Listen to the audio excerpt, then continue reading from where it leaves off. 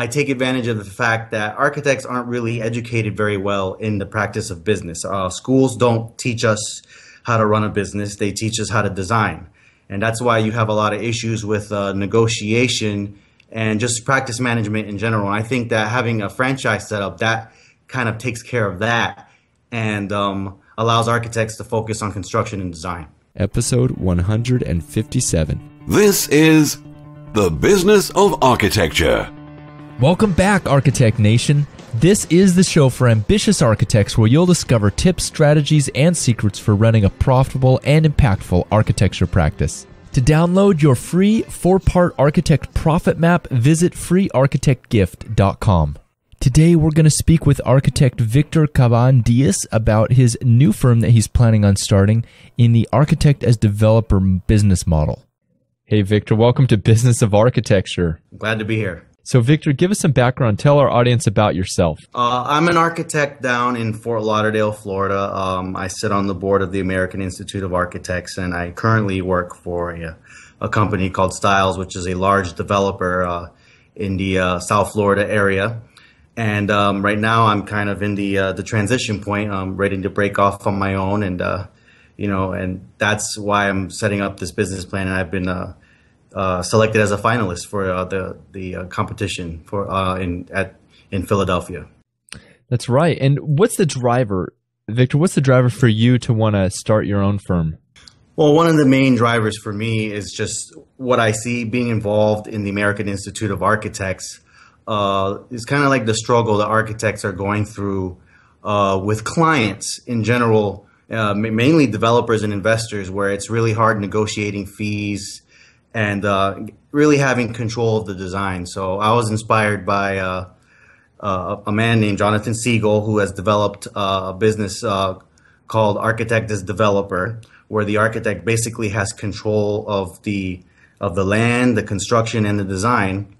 And I took that business concept and I've kind of made my own version of it. And uh, for me, that's going to allow architects to really have a larger role in the field and with design in general. And, and that's something I'm very excited about. Well, tell us. I'm excited to hear about it. Tell me about uh, how you've made it your own. Well, um, one of the one of the things that I feel is lacking in architecture is uh, uh, franchising, and also I'm also excited about the concept of co-working that I, I see going on with companies like WeWork, um, and uh, I also I'm looking for more ways to diversify the architect's uh, means of getting income. That way, architects can be more choosy on who they work with and have better leverage in negotiating design fees. And by having uh, a, a, system that's which, which is allowed to you by franchising, I take advantage of the fact that architects aren't really educated very well in the practice of business. Uh, schools don't teach us how to run a business; they teach us how to design and that's why you have a lot of issues with uh, negotiation and just practice management in general. And I think that having a franchise setup that kind of takes care of that and um, allows architects to focus on construction and design. Great. And so tell me a little bit about your business model. You say you were inspired by Jonathan Segal. Absolutely. I just love everything he's doing. He's doing some great stuff down in San Diego. So, how has that inspired you, and how are you going to take that business model and make it your own? Well, the way that I, am going to make it my own is, I, first of all, is I'm going to take the same concept. Uh, I'm going to uh, allow architects to grow inside of it and then branch off. Because one of the things that I see a lot in firms, especially in my years, I've been working full time for about 13 years now, and I see a lot of talented architects basically break off and walk out the door. Sometimes it's because they want to design, they want to have control of the designs, or sometimes it's just because the person they're working for, which is usually a small or medium sized firm, can't afford to keep them or compensate them the way they want to be compensated. So they go off and they start their own, and then I see them start and struggle because starting any business is, is very difficult. So, you know, with um, my concept, uh, basically architects would grow in house, and then when they're ready to start their own firm, the way I see myself is kind of like somebody investing in another architect. Instead of letting them walk out the door, I say, hey, you know, I have experience. Let me help you make your firm successful. And I want an investment stake in your company. And I have everything set up infrastructure wise here. And I have a co working space where you could start your firm that is an architect specific co working space. And it's in house only for my company. And it'll allow architects to grow their own identities, but still be attached to something larger that could give them a source of support for business. Great. So tell me a little bit more about the specifics of that.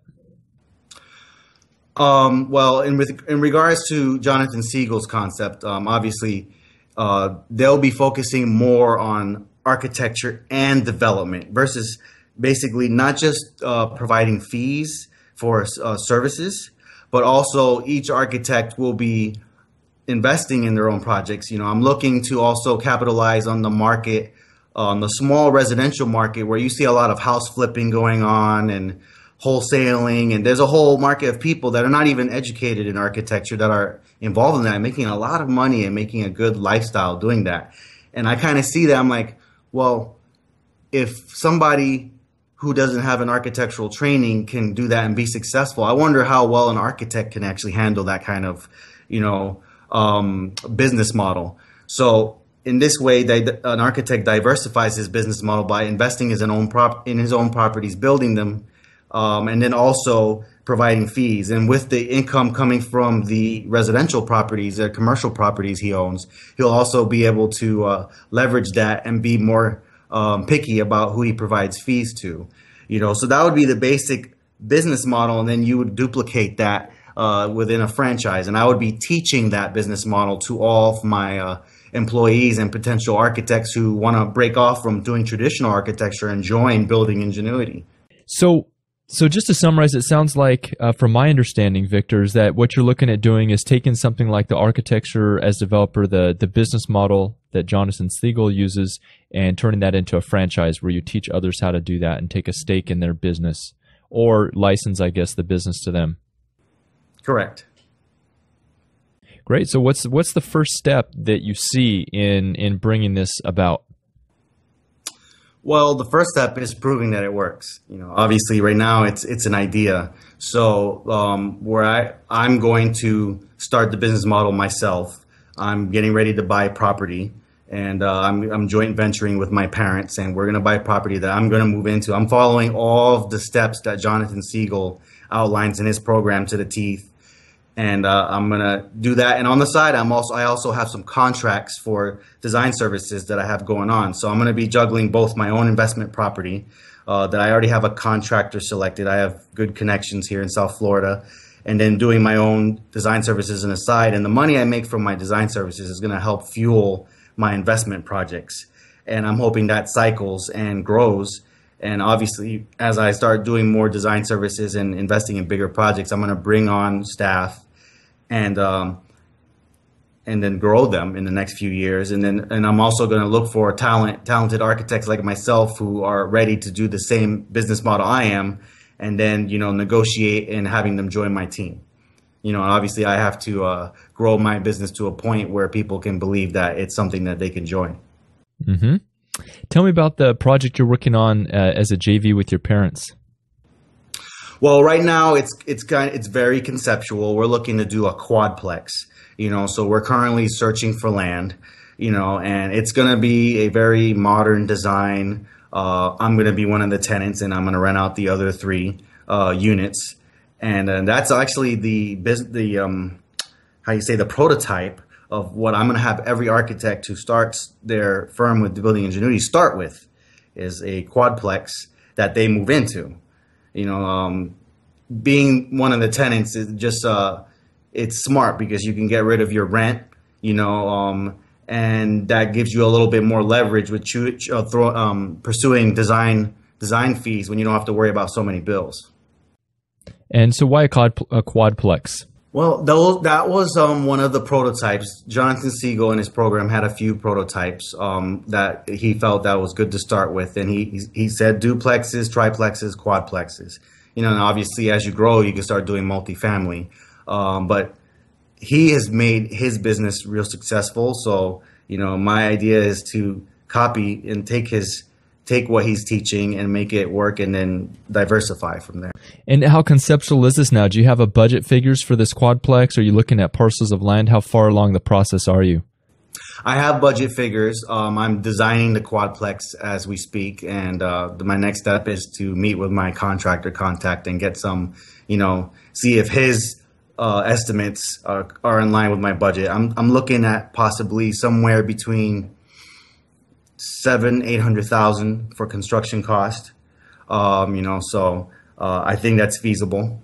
Um, you know, I'm going to find out when the contractor looks at it. I might have to uh, do some uh, value engineering you know. So, um, but it's it's going to be a back and forth until it, works out because obviously the numbers have to work out, and that's what makes this exciting for me. It, it's not just designing and in a, in a vacuum. You, this is going to make me a better architect, and I feel like it's going to make the architects that join my company a lot better when they're actually thinking about the the cost, the construction, all in one because they're going to be the architect, the contractor, and the developer.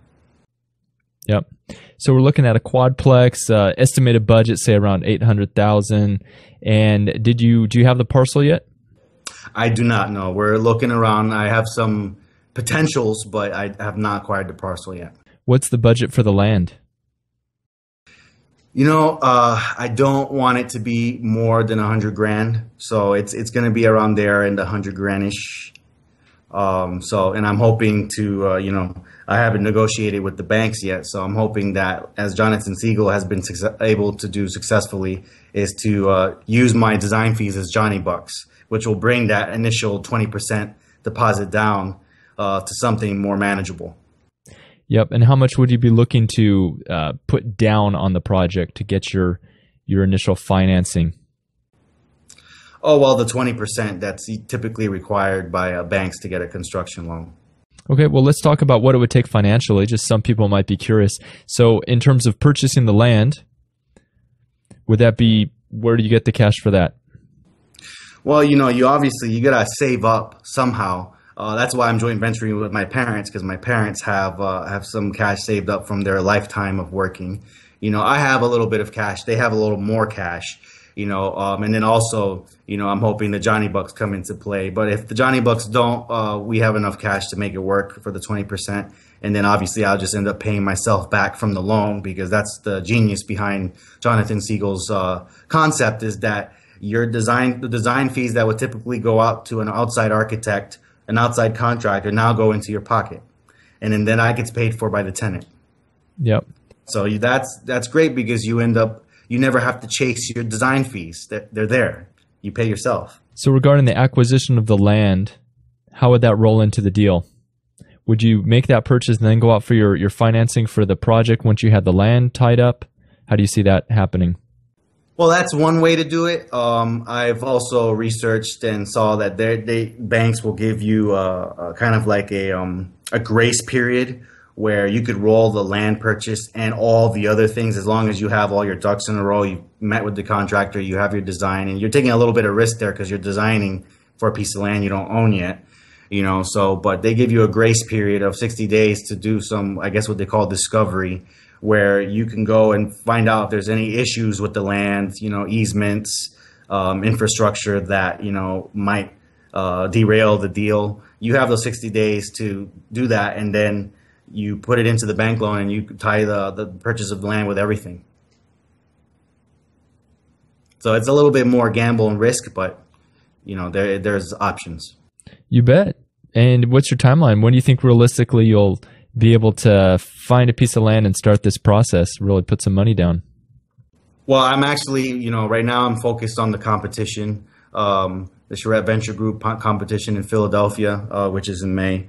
And when that finishes, I am then I'm going to start uh, shift my focus to the uh, the investment project. So I'm looking to wrap up in the purchase of land and start construction probably in the fall. Great, and tell me tell me about the work that you're doing right now, Victor. Well, I currently work for a company called Stiles, which is a major developer. Um, and I'm also, you know, kind of freelancing on the side with my company, Building Ingenuity. Uh, right, now, I'm working with a developer to uh, design an apartment building, 20 unit apartment building down here in South Florida. Uh, that's my side project. Um, and then also during my full time job, uh, I do uh, commercial and uh, and a lot of office work here in Fort Lauderdale.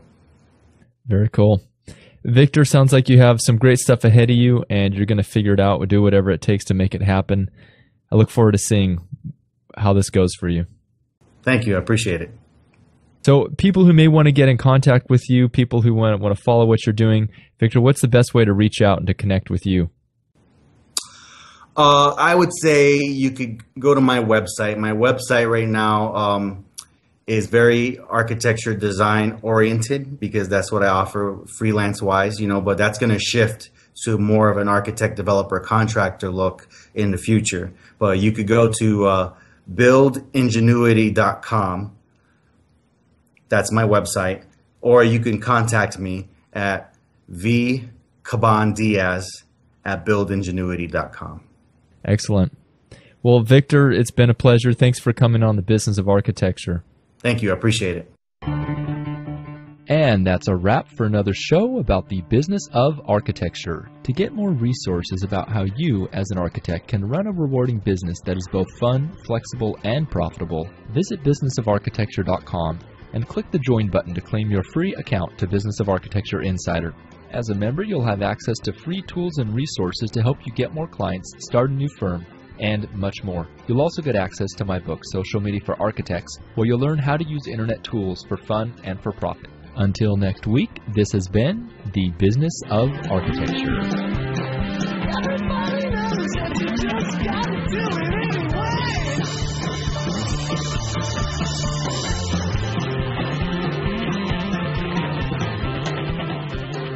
Views expressed on the show by my guests do not represent those of the host, and I make no representation, promise, guarantee, pledge, warranty, contract, bond, or commitment except to help you conquer the world.